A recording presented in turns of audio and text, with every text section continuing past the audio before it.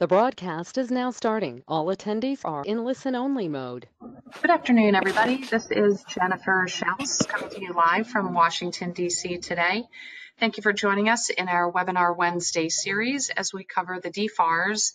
Uh, and today we are kind of wrapping up our second to last webinar in in the series. So it is a complimentary series. Uh, we started um, in January and went chronologically through each of the DFARS.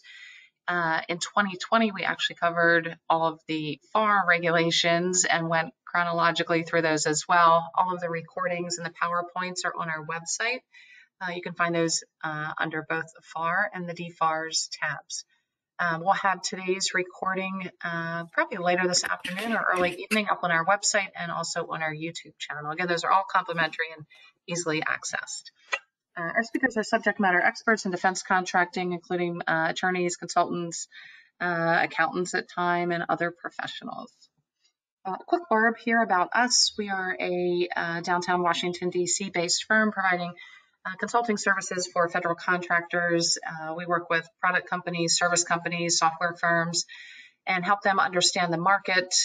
so, pipeline reports, we help with GSA schedules, proposal writing, uh, contract compliance and administration. If you want to find more about our services, you can go to our website and go to the About Us section.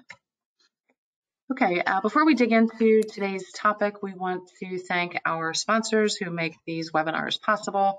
Uh, first and foremost, uh, our friends over at the Virginia PTAC, which is the Procurement Technical Assistance Center. They are the uh, statewide headquarters for the state of Virginia and co-located at George Mason University, in Fairfax. Uh, they offer training, counseling, mentoring, uh, and I believe they have uh, shifted lately, I think, to some in-person events. Um, don't quote me on that. Go to their website to take a look, and uh, you've got some contact names, or at least contact uh, email and phone number there on the screen. Next up is uh, C3 Integrated Solutions. Uh, they provide CMMC uh, services, uh, DFARS and NIST 800 171 compliance. Your contact there is going to be the info at c3isit.com, and you've got a phone number there in the lower right hand corner of your screen. Uh, also, we want to thank WorkPlan. Uh, like C3, WorkPlan is also a newsletter advertiser for us. Uh, they are a software platform for government contractors providing project management, DCAA compliant accounting, and contract management uh, software tools for contractors. Your contact is Anita, and her uh, details are found in the lower right hand corner of your screen. The Federal Business Council, most people are probably familiar with these guys that put on the awesome uh, procurement fair. Uh, I think it's been going on almost 30 years, if I'm not mistaken. Uh, so they've got a lot of virtual and in-person events with government and government contractors. Uh, David Powell is your contact, and his information is in the lower center of your screen. Gov White Papers has sprung out of Gov Events, and this is a online platform to post and download uh, content related to government and government contracting. Uh, Donna Monday is your contact, and her email is there at the top right hand corner of your screen. Thanks to Gov White Papers for their um, sponsorship here. SWCTEC, uh, these folks are a provider of CMMC um, certification.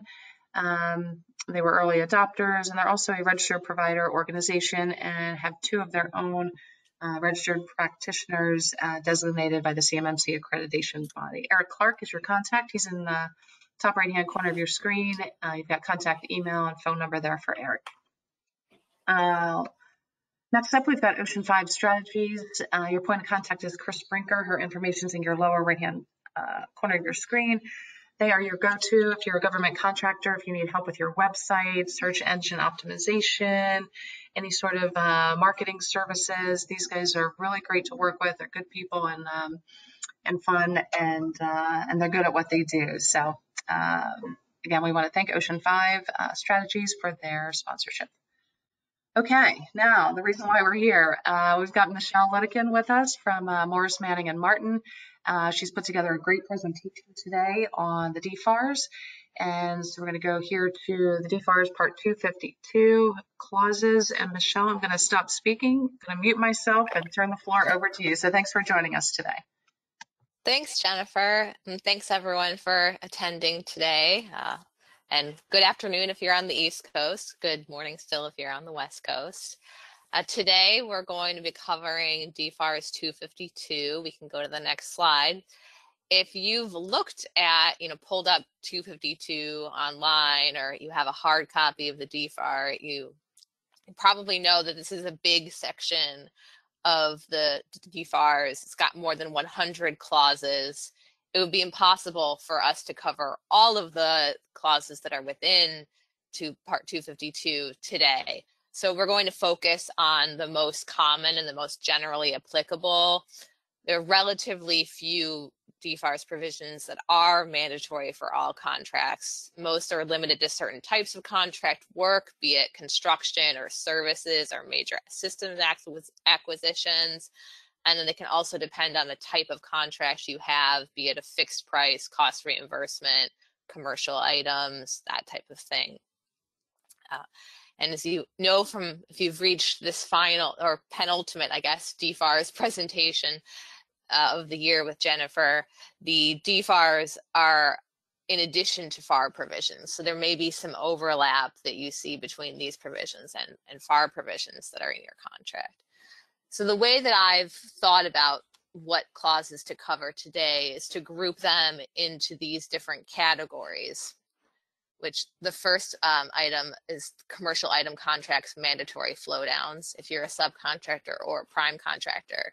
Those are um, provisions that you regularly see, I would suspect. Then our next category will be cybersecurity. After that, we'll talk about supply chain and then subcontracting, ethics and employment, and ended up with intellectual property. Uh, so we can go on to next.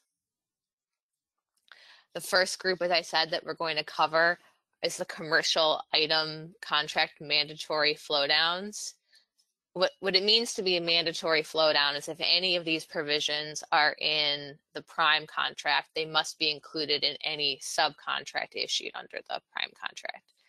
These clauses are found in commercial item contracts. A commercial item is defined in FAR 2.101 and it generally means any item that is a type customarily used by the general public or it only has minor modifications to be used by the government. So a lot of products and services that the government buys are considered commercial items. Everything from IT services to landscaping to furniture, uh, lots and lots of things are commercial items. Even things you wouldn't think are commercial items like debt collection services that I can tell you um, is, a, is considered to be a commercial item by the government. And depending on the scope of work you have, there may be other provisions that are mandatory flow downs. And the, the clause will say it if it's a mandatory, if it needs to be flowed down. And we'll see some of those clauses as we move through these various provisions today. So we'll move on to the next slide where we'll talk about the first mandatory flow down and this is the requirement to inform employees of whistleblower rights. This is pretty self-explanatory. Uh, if this clause is in your contract, you need to inform your employees in writing of the whistleblower rights and protections that are available under law. That can be done through your handbook, through posters in the office. You know, you have a lot of options here. It just needs to be done in writing. And as you'll see in part B here, it specifically says this needs to be included in all subcontracts. Next slide, please. And then we have the 252-204-7015, Notice of Authorized Disclosure of Information for Litigation Support. This provision gives you a heads up that information you have provided to the government in your proposal or in contract, uh, you know, during performance may be shared with other contractors, litigation support contractors, for the sole purpose of litigation support. So it's just giving you a heads up about that fact. And then again, it needs to be flowed down to subcontractors. Next. And now we have export controlled items. Particularly when you're working with the Department of Defense, there's you know a high probability that you're going to be working with sensitive information that the government does not want to be exported unless the government, you know, has knowledge of it and approves of it. And so this provision is meant to accomplish that goal by requiring you as a contractor to comply with all applicable laws and regulations regarding export control. I mean, I'll say this can come up in even situations where you're not thinking about it.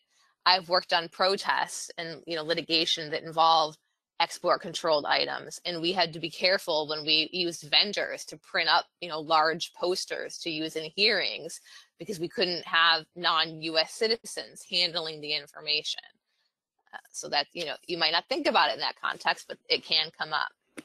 And again you know, party you need to flow this down to all subcontracts. So I'll note here that whenever a FAR provision specifically says that it needs to be flowed down, that can be a helpful point when you're negotiating with your subcontractors. Because if they push back and say, we don't want all these provisions in here, we don't generally do work with the government. If it's required to be flowed down, it needs to be flowed down. And you can say, hey, you can't blame me, subcontractor, talk to the government. This is required. Next, please.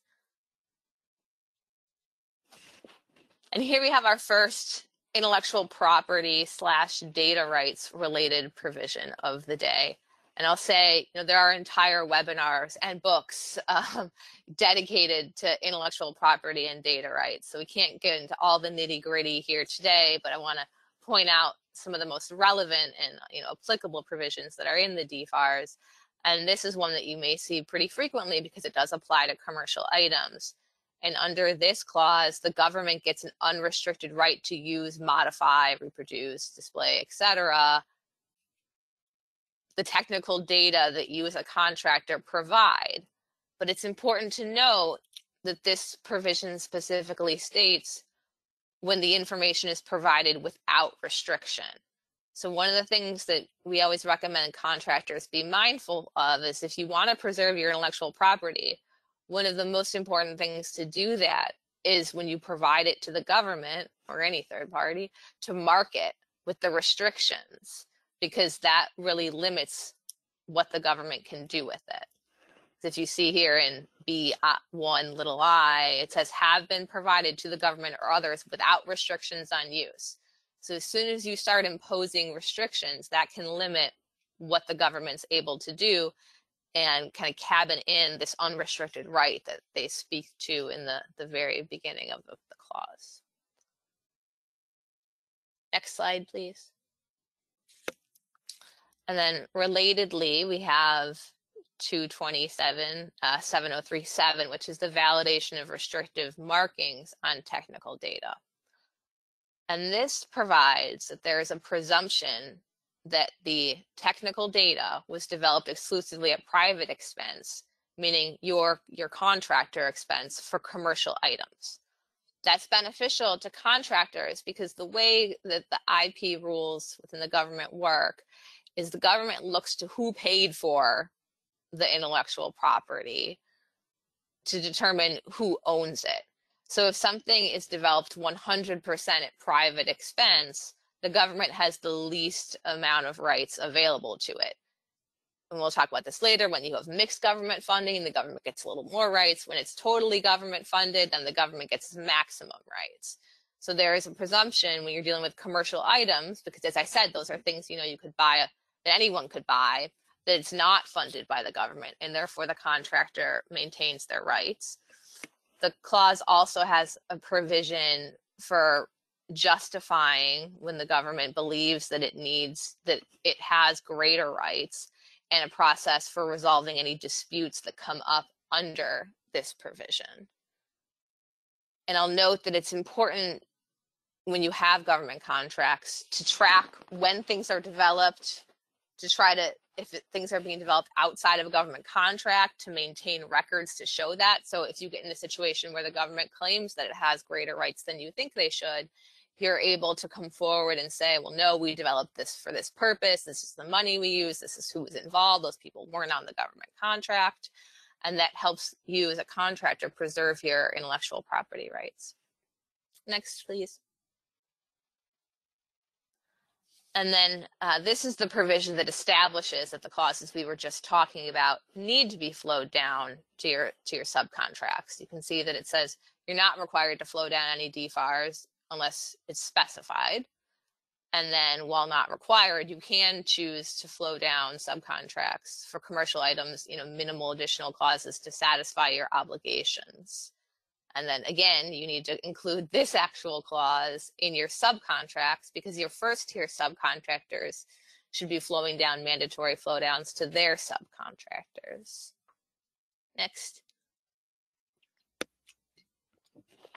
Okay, we've already finished the first topic, and now we are moving on to cybersecurity. You've probably seen a lot more attention to this area. You know, I saw some of the sponsors that Jennifer talked about have expertise in CMMC. That's one of the cybersecurity initiatives that came out last year and is currently being revamped. So this is I would say an evergreen issue at this point. I think we've all probably gotten an email notifying us that our information was hacked, and the government is very concerned about that. And so you will see these provisions in a lot of your contracts and subcontracts. So let's talk about them. Next, please. Before there is, uh, was the DoD assessment in CMMC, which came out last year, the DFARS contained 252, 204, 7008. Um, and many con and this requires you to comply, certify your compliance with what are called the NIST, the National Institute of Standards and Technology standards that are in the special publication 800 171. These include things like multi-factor authentication and passwords and segregating information and tracking access, a lot of contractors who had 252, 204, 7008, and then we'll talk about 7012, and their contracts just kind of checked the box and didn't really pay attention to it. Um, the DoD assessment is a way to kind of bring some more teeth into this requirement. But when you see 252, 204, 7008 in your contract, you are complying, you are certifying that you are complying with these NIST requirements. Next, please. And then here we have 7012, which is the related clause. And under this clause, you are you're required to provide adequate security on all contractor info systems. So that raises the question, what is adequate security? Well, according to the FAR, adequate security means protective measures that are commensurate with the consequences and probability of loss, misuse, or unauthorized access to or modification of information. So that means it's kind of a moving standard. Depending on what type of information you're dealing with, the government could think you need to have more measures in place in order to provide adequate security. And it also raises the question of, well, what are covered contractor information systems? Well, that is an unclassified information system that is owned or operated by or for a contractor and that processes, stores, or transmits covered defense information. So the computer that you're sitting in front of right now, you know, watching this webinar, if you do any work for the government, involving that computer, that would be a covered contractor information information information system. And then we have the question of well, what is it? And then it says for covered contractor information systems that are not part of an IT service or operation, the government therefore is not subject to the security requirements specified. And so that gives you a little bit of an opening that they're not subject to these specific requirements, but you need to follow these additional requirements.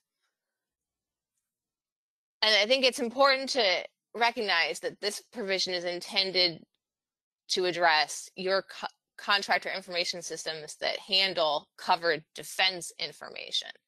And there's a lot of questions about what constitutes covered defense information because it's got a rather broad definition. The DFAR says this means unclassified controlled technical information or other information as described in the controlled unclassified information registry gives you a website that requires safeguarding or dissemination controls pursuant to and consistent with laws and regulations. And there's been a lot of you know people have gone to their contracting officers and asked them to specifically identify you know what is the covered defense information under this contract? We want to be mindful of you know, these policies and protect it but we've seen a lot of contracting officers are hesitant to provide that kind of information, which leaves you know contractors with a lot of uncertainty about what information they need to apply these measures to. And the next slide, please, includes cyber incident reporting requirements that are also under uh, DFARS 252, 204, 7012. And these are pretty extensive um, that when, so if you if you encounter a cyber incident, one of the first things you should do is pull up 204 7012 and make sure that you walk through the protocols that are in there because there are timelines with when you were supposed to report the incident to the government and specific places where it needs to be reported to and then updates that need to be provided.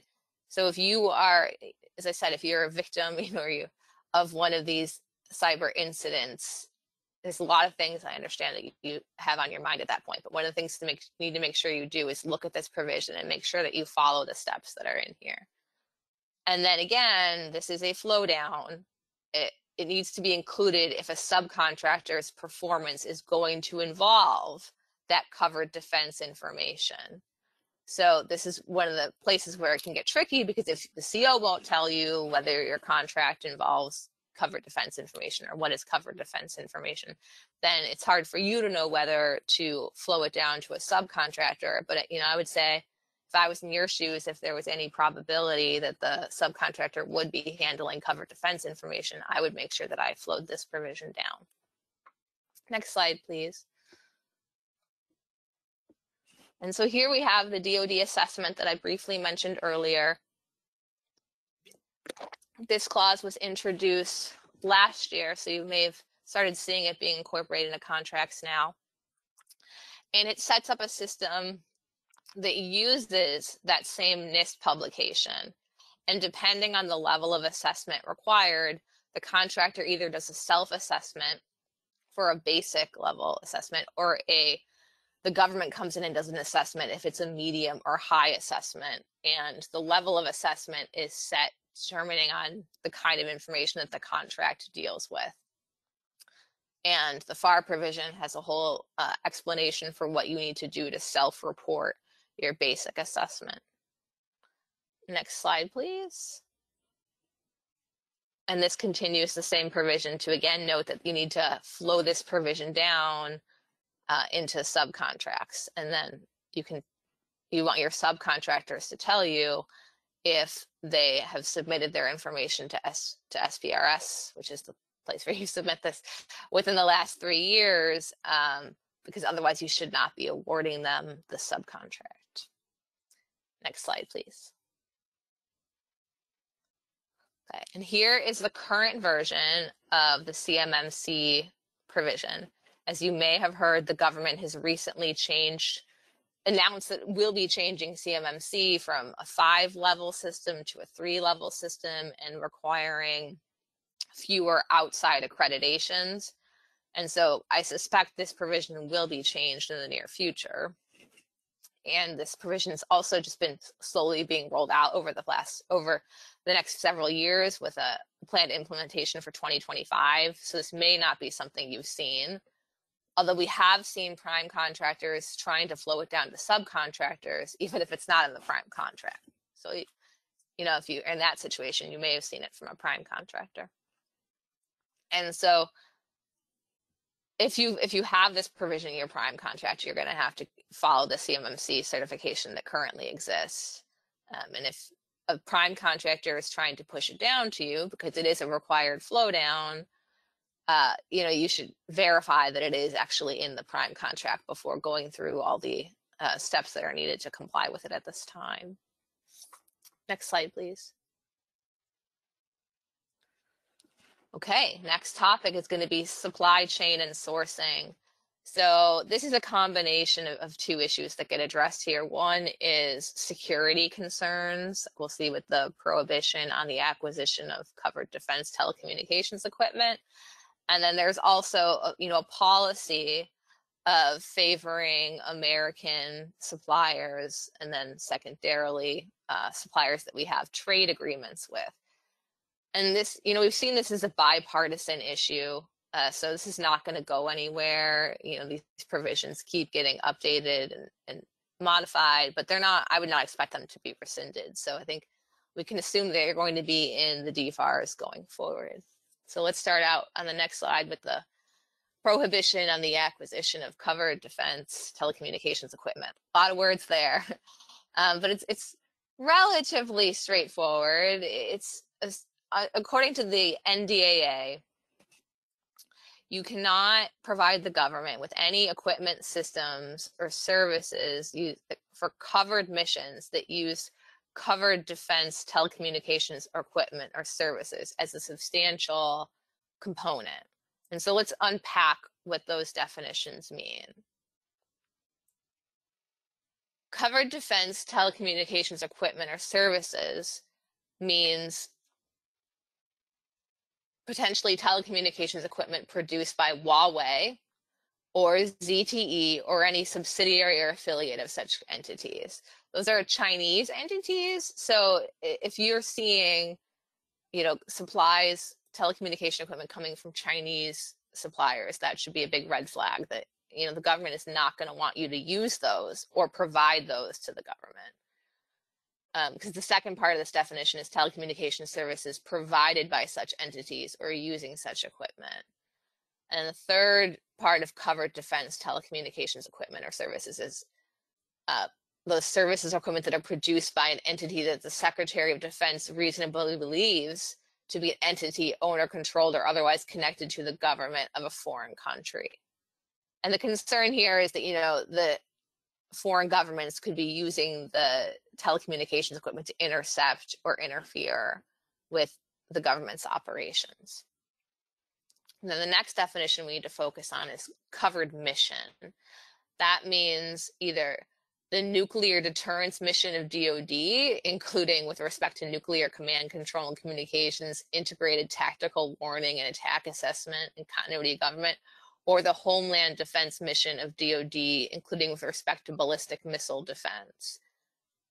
And I would just say I would never assume that a contract is not a covered mission unless the CO tells you that, because the DoD tends to have a pretty broad interpretation of what it means to like, protect the warfighter and protect the homeland you know, I think there are probably a lot of con- contracts out that are they're very clearly related to covered defense missions, and some that may be more ambiguous. So it's always best to get that confirmation from the contracting officer. So if you're providing those kinds of services, you need to be, be very careful that you're not using any of this prohibited equipment.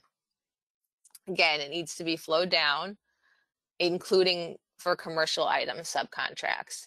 And then I'll point out that 252, 204, 7016, and 7017 provide for representations that are related to this prohibition, where you need to, you know, specifically state and that you're not providing these prohibited services or equipment. Okay, next, please. Our first Buy American provision. This clause implements Buy American, which is a statute that you may have all heard of. And if this clause is in your contract, it means that you are only allowed to deliver domestic end products, which this basically is an unmanufactured, it can be an unmanufactured end product that's been mined or produced in the United States, or there's can be a, a, kind of complex definition that comes into play for things that are manufactured in the US because if if more than 50% of the components are from the US, well then that's going to be a domestic end product. Um, but then you can get I won't again this is one of those topics where you could have a whole webinar de- dedicated to the Buy America Act. Um, if something's made in America, it's a domestic end product. If it's partially made in America, then you need to start getting into the details of where things are coming from and whether they're essential and whether they're commercial off the shelf items. Um, so I don't want to dwell too much in those details. Or the other option here in the DFARS is that you can certify that the item is coming from a qualifying country. And for this clause, a qualifying country means a country with a reciprocal defense procurement memorandum understanding or another agreement with the United States and that includes um, a lot of the, you know, the kind of NATO or friendly countries that you would think of, like Australia, Austria, Canada, Czech Republic. It also includes um, places like Egypt, Estonia, Israel, Latvia, Turkey is a qualifying country. So if you're ever dealing with a, an overseas supplier, it's good to check the clause and see if they are coming from, they're one of these qualifying countries. And then again, um, 252, 225, 7000 has a certification related to this particular clause. Next slide, please.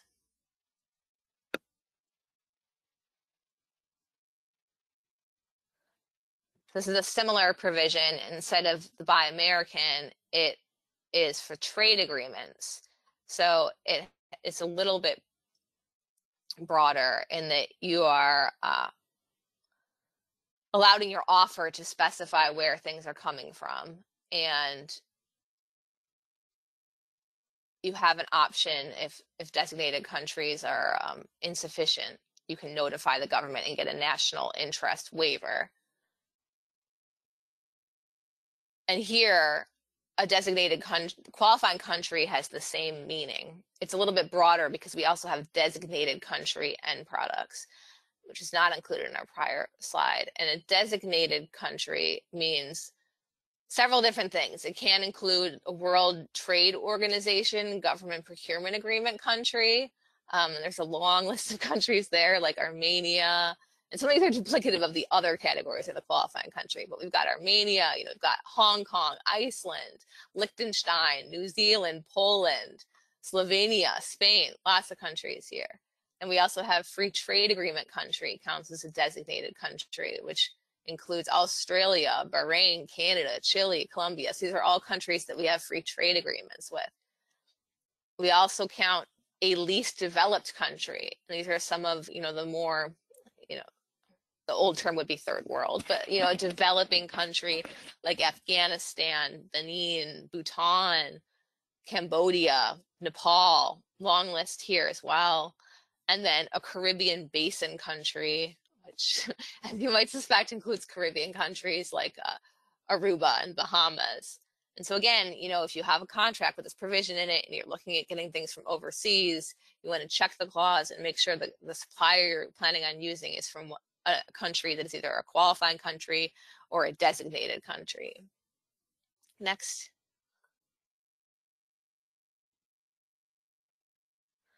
Similar provision here, except now we get even a little bit broader because this provision and adds, as you see, it continues free trade agreement end products other than Bahrainian end products, Moroccan end products, Panamanian end products, Peruvian end products, or other foreign products. So this provision defines what it means to be a Moroccan end product, a Panamanian end product. So again, if this provision is in your contract, you want to check and make sure the supplies you are plant, the goods supplies you are providing are going to be compliant. Next. Our next topic is subcontracting. And these are provisions that you should be mindful of when you award some contracts. So this isn't just about, this is not the flow down issue that we were talking about earlier, but these are provisions that affect your relationship with subcontractors and your selection of subcontractors. Next. So here we have 252, 209, 7004. This is pretty self-explanatory. Um, basically, you should not enter into a subcontract with a company that is owned or controlled by a government of a country that is a state sponsor of terrorism.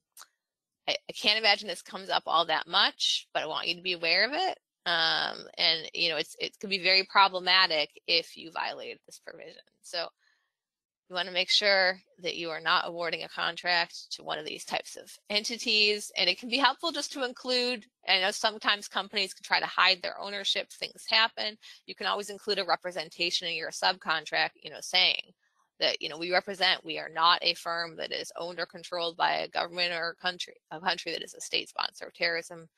And that'll help you cover your bases with this one. Next. And this is the DFARS provision a special version of the small business subcontracting plan because this is a test program. You know, you're probably familiar with the FAR provision that requires subcontracting plans for other than small businesses.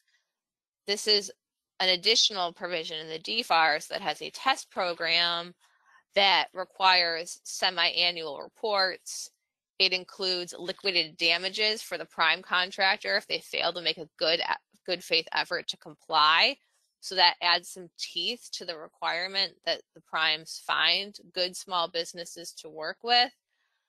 And to be eligible to participate in this program, the prime must be under at least three DoD contracts during the preceding fiscal year that have an aggregate value of at least $100 million. So it's pretty big prime contractors that would be eligible to participate in this program. Next. Now, if you are a small business, this provision would be particularly relevant to you it is accelerating payments to small business subcontractors, prohibition on fees and considerations. Under this clause, the prime contractor needs to pay you quickly and they are not required to, they are not permitted to charge any fees when making these accelerated payments. And then again, this is supposed to be included in any uh, subcontracts, including commercial item subcontracts. And I'll note that accelerated payment, which is used in this clause, is defined as payment made to small business subcontractors as quickly as possible with a goal of 15 days or less after receipt of payment from the government or receipt of proper invoice from subcontractor, whichever is later. So if you keep this provision in mind and you're a small business, you could use this when you're trying to negotiate with your prime contractors, you know, to not accept 30 day payment, but say, hey, you know, according to the DFARS, you're supposed to pay me as quickly as possible, ideally 15 days. So let's use that in our subcontract. Next, please. Moving right along to our next section, which is ethics and employment. And these are the things, you know, the government looks for in a contractor to know that you're being a good citizen and complying with you know the spirit of a lot of these government regulations that apply to government contractors. Next slide, please. So we'll start off with 252, 203, 7000. It's a pretty straightforward provision. You are not allowed to knowingly provide compensation to a covered DoD official within two years after the official leaves DoD service without first determining the official has sought and received uh, you know, what's called as an ethics opinion regarding what they're allowed, what this individual is allowed to do once they leave the government. I'll know, and you may be wondering what is a covered DoD official. That is someone who leaves or left DoD service on or after January 28th, 2008, and participated personally and substantially in an acquisition with a value of excess of 10 million and serves or served in an executive schedule position, a position in the senior executive service, or a general or flag officer position. And it also includes a DoD official that served in program manager, deputy program manager, procuring contracting officer, administrative contracting officer, source selection authority, member of a source selection evaluation board, or a chief of a financial or technical evaluation team in a contract that was in excess of 10 million.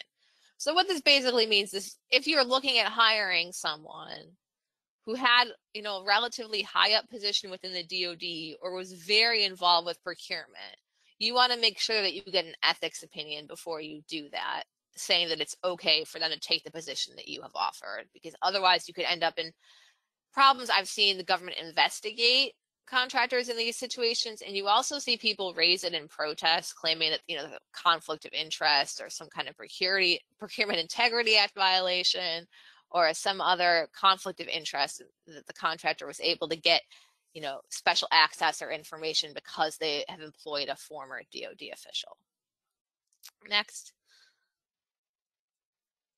okay now we have 252 203 7001 which prohibits you from hiring a person who's convicted of fraud or other defense contract related felonies. And, you know, if you read this closely, you may not notice that it, it specifically addressed that fraud or a felony arising out of a contract with the DoD. So if you interviewed someone and they were convicted of fraud, but it was completely unrelated to a DoD contract, this provision does not apply. I mean, you may not want to hire that person for other reasons, but this provision would not prevent you from doing it. This provision is specifically directed at fraud coming out of a DoD contract. Um, and then you agree again to flow this provision down to first tier subcontracts, except for commercial items or components. So, you know, if you were buying pencils or computers, you know, something off the shelf like that, you would not need to flow this provision down. Next. Okay, straightforward provision here, the 252, 203, 7004, display of hotline posters. You are required, if this provision is in your contract, and it is in most DoD contracts, to display the DoD fraud, waste, and abuse hotline poster prominently in common work areas. So that's often, you know, in the copy room, in the break room, anywhere where, you know, most of your employees are, are visiting on a day-to-day -day basis. And then there's an additional requirement if the contract is getting funding from the Department of Homeland Security to also include the Department of Homeland Security fraud poster. And then again, you need to flow this down to your subcontracts except for uh, commercial items subcontracts. Next, we have 252, 203, 7005. This is the representation that goes along with the provision we just talked about a couple slides ago, dealing with compensating former DoD officials. So when you submit your offer, you're representing that you have not provided such prohibited compensation to a DoD official. Pretty straightforward. Next slide. Anti-terrorism training. So if you have this provision in your contract, it's it requires you to provide special training to your employees if they're going to be accessing military military bases, facilities, etc. The government usually works with you to you know tell you what kind of training needs to be provided and any subcontracts that are going to have similar access to federally controlled facility or military installations would also need to have this kind of training. Next. Drug-free workforce. You need to have a policy to try to have a drug-free workforce. And I'll note that this is a federal drug-free. So it, it relies on the federal definitions of what's legal and illegal. So under this clause, even if cannabis or marijuana is legal in your state, it is still illegal at the federal level. Your program is supposed to have you know, alternatives with like assistance programs, training, and testing for employees that are in sensitive positions and an employee in a sensitive position is an employee who has been granted access to classified information or employees you know similar positions with national security type implications. You can have testing measures for those types of employees. Next.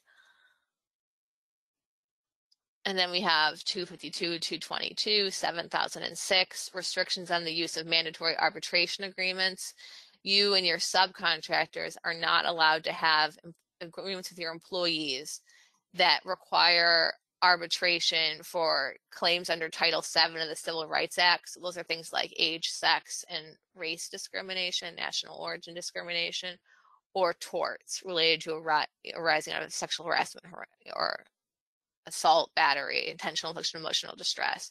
Those types of claims are often brought with um, employment discrimination claims so the, the gist there is that those would have to be litigated in court. You can't have an agreement that requires those employees to bring those types of claims through arbitration.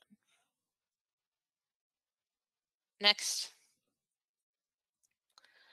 And now we're in our final topic, which is intellectual property and again, I want to stress that there are entire books and webinars. I bet Jennifer has hosted one um, focused just on intellectual property or data rights and government contracts. So we're only going to dip our toes in the water here but these are provisions that you should be aware of um, and mindful of when when you are negotiating contracts with the government and with prime contractors. Next.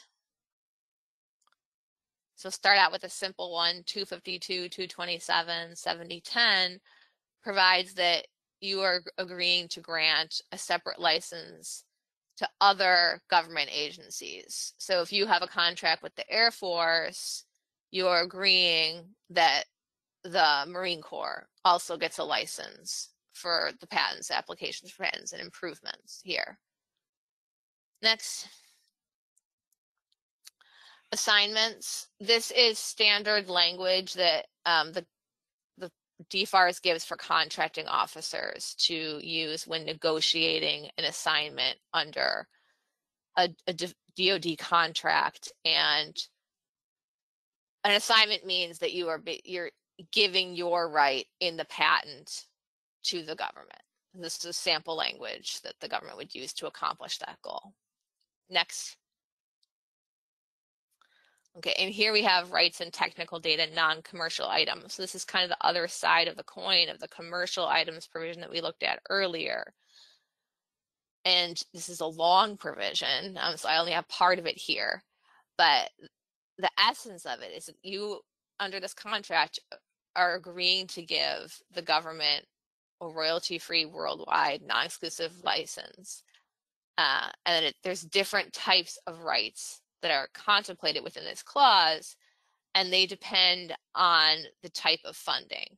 So government purpose rights means the right the government gets the right to use, modify, reproduce, release, perform, etc., technical data within the government. So just within the government without restriction and those rights accrue if there's mixed funding. So if some of the funding comes from the government and some comes from the contractor, you get government purpose rights. Limited rights means the government gets the right to use, modify, reproduce, or disclose within the government. So it's a little it's a little bit broader than government purpose rights. And that occurs if the if it's 100% private funding. So if the contractor provides the funding. And unlimited rights means the government has the right to use, modify, reproduce, perform, display, etc., in any manner and for any purpose and to anyone. So that's why it's very broad. You know, we have government purpose rights that are limited to the government, um, and this is the, the way other side of that where they can use it anywhere, and that occurs when the government has provided all of the funding. And then you also have this option for specially negotiated license rights, and that you know is an option to you if the government is willing to cooperate to negotiate uh, the terms and that would cover you know how the, the intellectual property can be used and how long.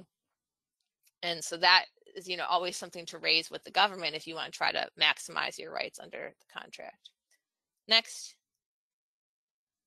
And then we have rights in bidder proposal information this is giving you a heads up that when you turn in your solicitate your proposal and responding to the solicitation, if you have not marked your proposal pretty carefully, the government is going to obtain the rights to that. And so that's why it's always important to mark up your proposal and indicate what you believe is your property because um, that can help prevent you protect your rights going forward. And then you also want your subcontractors to mark their information. And you need to include this clause, you know, to convey that to the subcontractors to let them know. And then our next and final substantive slide here will be next.